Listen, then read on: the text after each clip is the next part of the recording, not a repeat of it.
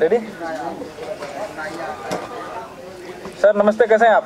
बढ़िया हूँ नमस्कार नमस्कार। सर भोजपुरी इंडस्ट्री में अ, देखा जाए तो बहुत ज़्यादा आजकल बवाल चल रहा है। अ, मैं उस पर कुछ चर्चा करना चाहता हूँ। आज खेसारी लाल यादव जी बिहार के रहने वाले हैं। आप भी बिहार के हैं।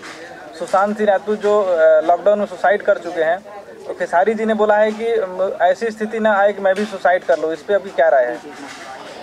मैं जानता था संजय जी कि आप चूँकि खुरा खुराफाती पत्रकार हैं कुछ अजीब सा सवाल लेके ही आएँगे। खैर आपकी आदत से मैं परिचित हूँ।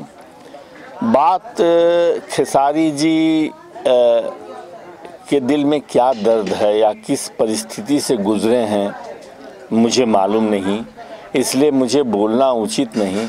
लेकिन सुसाइड करने के बाद खेसारी जैसे बहादुर नौजवान से मैंने उम्मीद नहीं की थी। जो बहादुर होता है वो आत्महत्या की बात सोचना उच्चारण भी नहीं करेगा सोचना सोचेगा भी नहीं। नहीं नहीं उन्होंने ये भी बात बोला है कि मैं ऐसा कमज़ोर आदमी सुसाइड करूँगा लेकिन ऐसी नौबत न आने दे जाए इंडस्ट्री वाले मुझे परेशान न करें कि मैं वो फिर से दोबारा को सुशांत बने। देखिए मुझे लगता है कि ये तैंतालीसवां वर्ष है इस इंडस्ट्री में मुझे काम करते हुए। मेरे जीवन में तो ऐसी नौबत नहीं आई कि मेरे मुँह से ऐसे शब्द निकले। तो बहुत कुछ आप पर भी निर्भर करता है। आप सबों के साथ मिलजुल के रहिए, सबों के साथ स्नेह प्यार बना के रखिए। बैमनस्य नहीं, क्योंकि जिसको जितनी सफलता मिलनी है, उतनी मिलती है। न किसी के रोके कोई रुका है, न किसी के चाहने से कोई बड़ा हुआ है। वो इंसान की अपनी मेहनत होती है।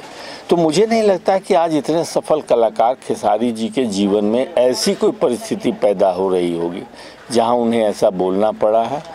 वो मेरा बच्चा है कभी मिलेगा तो मैं उसे समझाऊँगा और मैं वीडियो के माध्यम से कोई संदेश देना चाहते हैं खेसारी को? हाँ खेसारी आप हमेशा मुझे बाबूजी कहते हैं उस रिश्ते के तहत कर रहा हूँ। आप एक बहादुर नौजवान हैं। आपने ज़िंदगी की बहुत बड़ी लड़ाई लड़ के इस मकाम को पाया है। ऐसे शब्द मत बोलिए। बहुत सारे नौजवानों की हिम्मत टूट जाएगी। आप आइडियल हैं लोग आपको फॉलो करते हैं। मैं उम्मीद करता हूँ कि दोबारा ऐसे शब्द आप नहीं बोलेंगे। Thanks press the bell icon on the YouTube and never miss another update